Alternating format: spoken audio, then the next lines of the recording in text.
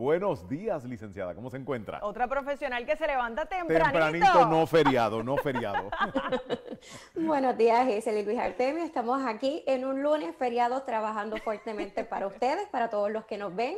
Y en la mañana de hoy no descansamos. Vamos a hablar sobre las peticiones de familia, en específico sobre la petición para remover las condiciones. Y antes de que se fueran a pausa comercial, estaba hablando Luis Artemio de que qué pasa si me he divorciado de la persona que me pidió mm. eh, para que yo viniera a los Estados Unidos y esta persona fue la que me dio mi green card, pues no todo está perdido. Sepa usted que si su green card tiene una fecha de expiración de dos años, usted tiene que presentar este formulario.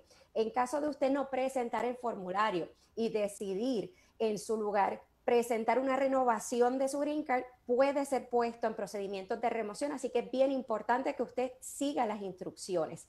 Si por el contrario se divorció, usted como quiera tiene que presentar esta petición con el entendido de que no va a ser una presentación conjunta, sino que va a ser una presentación individual y usted le va a pedir a inmigración que le remueva estas condiciones de forma individual porque se divorció de esta persona.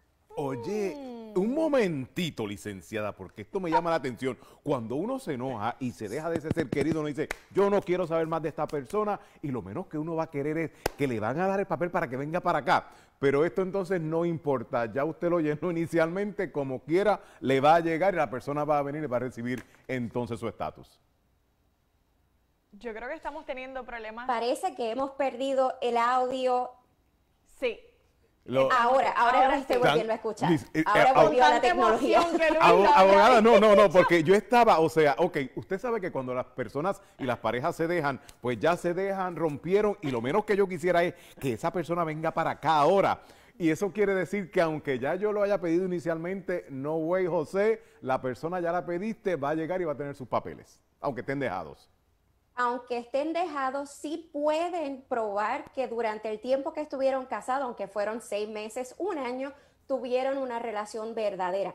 ¿Cómo es que probamos que estuvimos juntos? Bien importante presentar información de que por el tiempo que estuvieron casados tuvieron unas cuentas de bancas conjuntos, eh, hicieron esas transacciones en estas cuentas bancarias, vivieron en el mismo lugar juntos y tuvieron copias del contrato de arrendamiento.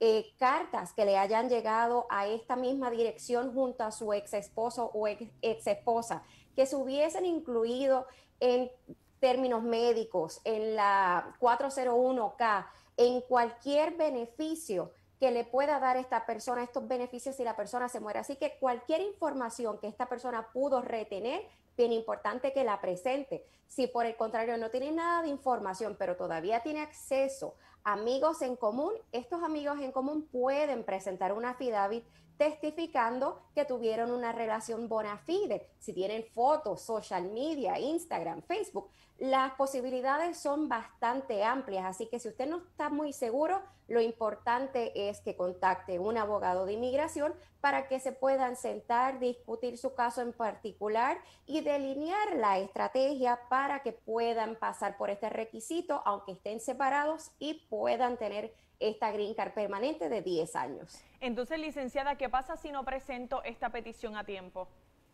Muchos clientes que tenemos en la oficina llegan con el problema de que en vez de remover las condiciones presentaron una renovación de la Green Card y son puestos en procedimientos de remoción. Así que si usted no renueva o remueve estas condiciones, lo pueden llevar ante un juez de inmigración para iniciar estos procesos de deportación. Así que es bien importante que usted no tome las cuestiones en sus manos, se asesore únicamente con un abogado que está autorizado a practicar la inmigración para que esté seguro que el paso que tomó es el correcto y no termine deportado de los Estados Unidos por cometer un error tan simple. O sea que en este caso, siguiendo la línea de Hazel, si yo de momento pues me dejo de esta persona que me está estado pues solicitando, yo como fui el que me dejaron y me están pidiendo automáticamente, tengo que notificarlo cuántos días tengo para dejarle saber al gobierno federal, nos dejamos, pero yo quiero seguir este proceso. Bien importante saber que tenemos que presentar la petición de remover condiciones al menos 90 días antes de que se nos venza esa green card. Obviamente usted puede iniciar el proceso con su abogado mucho antes, porque esto es un proceso que conlleva mucho tiempo y esfuerzo. Y como tenemos que preparar las peticiones, estar seguros que tenemos toda la información suficiente a la mano, lo pueden iniciar con un poquito más de tiempo antes y que no estén corriendo a lo último para asegurar de que no les llegue el tiempo y usted no haya presentado esa petición y luego sea puesto en procedimientos de remoción. Bueno, muchísimas gracias, licenciada, por toda esta información, porque sí se complica la cosa Mira, de inmigración. Pero es que ayer celebrábamos el Día del Amor y hoy es que se acabó el amor en estos casos. Ay, Dios mío, no. Ojalá y siga, siga, siga.